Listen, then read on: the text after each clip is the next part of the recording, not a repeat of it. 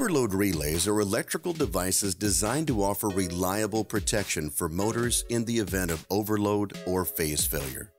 These types of relays are used to protect against a running over current that would cause overheating in a motor.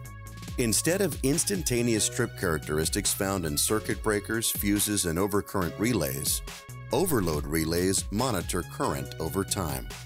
Thermal overload relays have a bimetallic strip that bends when heated to a set temperature. When excessive current heats the relay to that set point, the contactor de-energizes and interrupts power to the motor.